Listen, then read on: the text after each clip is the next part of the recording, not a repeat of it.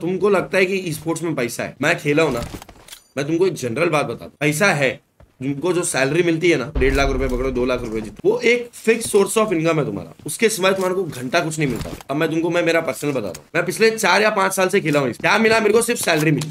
उसके सिवाय मैंने एक रुपया नहीं कमाया स्पोर्ट से। टूर्नामेंट के पैसे नहीं आते भाई। मेरा आई का पेमेंट पेंडिंग है, मेरा एक्सो का पेमेंट पेंडिंग है, सब कुछ मिलाएगा ना तो हैवी पेमेंट है भाई सिर्फ़ आपका या सबका? दूसरों का मेरे को कोई लेना देना भाई। मेरा पैसा तो नहीं है आई से मेरा टूर्नामेंट का पैसा, मेरी सैलरी दोनों नहीं आई। एक्सो से मेरी सैलरी सब कुछ क्लियर है।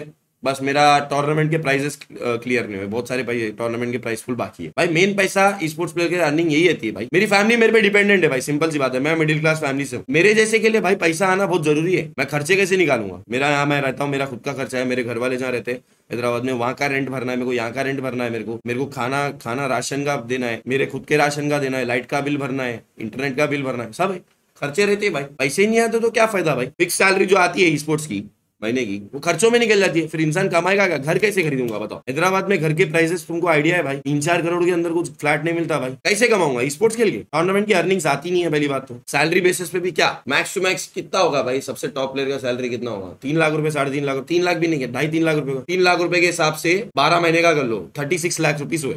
थर्टी सिक्स लाख रुपीज़ दस साल कर दो। तब जाके उसके तीन करोड़ सिर्फ़ सैलरी हुए। Three point six crore rupees पाँच दस साल खेलना पड़ेगा। स्काउट स्काउट का भरो भाई, स्काउट कंटेंट भी करता है। स्काउट को ब्रांड डील्स आती है। स्काउट है यार वो। अगर मैं नॉर्मली वैसा होता, मैं यूट्यूब यूट्यूब पे फोकस नहीं कर रहा, मैं डाई हार्ड स्पोर्ट्स प्लेयर होता डाई हार्ड सिर्फ़ खेल रहा होता, सिर्फ़ खेल रहा होता। मेरी एक फिक्स इनकम रहती सैलरी उसमें मेरे पैसे चले जाते। साइड इनकम मेरा कुछ पैसा बनता नहीं। क्या करता? तीन साल, चार साल खेलता। कितना पैसा कमाता? पंद्रह, बीस लाख रुपए, तीस लाख रुपए, चालीस लाख रुपए। घर बनता उसमें? घर बनता मेरा? Johnny is also sports player I am भाई, वो पाँच मिलियन लेके बैठा है। उसको भी ब्रांड डील आती है यार। जितना उसने स्पोर्ट्स में नहीं कमा होगा उतना उसने ब्रांड डील में कमा लिया है भाई। पाँच मिलियन नंबर स्काउट पाँच मिलियन नंबर्स मॉर्टल का नंबर देखो। भाई, पूरे स्पोर्ट्स कम्युनिटी में गिनती के पाँच छह लोग हैं ऐसे। अबे, आज तक पहले दिन से लेके अभी तक देख लो कितने स्पोर्ट्स हज़ारों स्पोर्ट्स आए। उसमें से पाँच लोग, छह लोग चल रहे हैं भाई। बाकी क्या कर रहे हैं? खेल रहे हैं, ठीक है, अच्छी बात है यार। भाई, मेरे को तो आगे का सोचना है ना भाई। खुद का कुछ बनाओगे, तब जाके तुम और पैसा कमा सकते हो ब्रांड से डील से। तब जाके तुम अपनी जो भी तुम्हारे सपने पूरे कर सकते यार। है कि नहीं? और भाई, तुम बोल रहे हो हार्ड घुस जाओ स्पोर्ट्स में।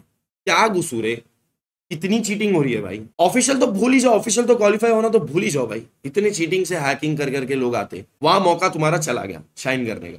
थर्ड पार्टी टूर्नामेंट में तुम जीत लो, इज़्ज़त नहीं मिलती। थर्ड पार्टी टूर्नामेंट के पैसे नहीं आते, मेरे को तो नहीं आया, बाकी लोग का नहीं मालूम। प्रैक्टिकली सोचो यार, मैं ट्वेंटी थ्री का हूँ।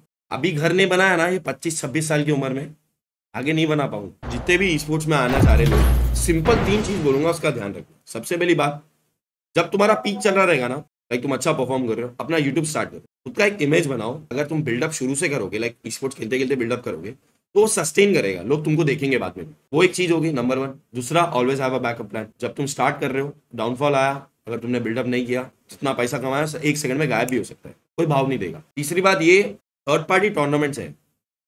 अभी के लिए तो मेरा तो यही पॉइंट ऑफ़ व्यू भाई। उससे पैसा तो नहीं आता है। मेरा अभी तक तो नहीं आया, भाई। पता नहीं क्यों नहीं आया। बाकी लोग का कैसा इतना जल्दी आता है, मेरे को नहीं पता। मेरा पैसा तो नहीं आया। तो तुम मल्टीपल चीज़ें करोगे। एंड हर चीज़ मैनेज करना पड़ता है। हर चीज़ मैनेज नहीं करोगे ना तो पैसा नहीं कमा पाओगे सिंपल सिंपल टिप्स ध्यान रखना नेक्स्ट टाइम से। और कुछ नहीं।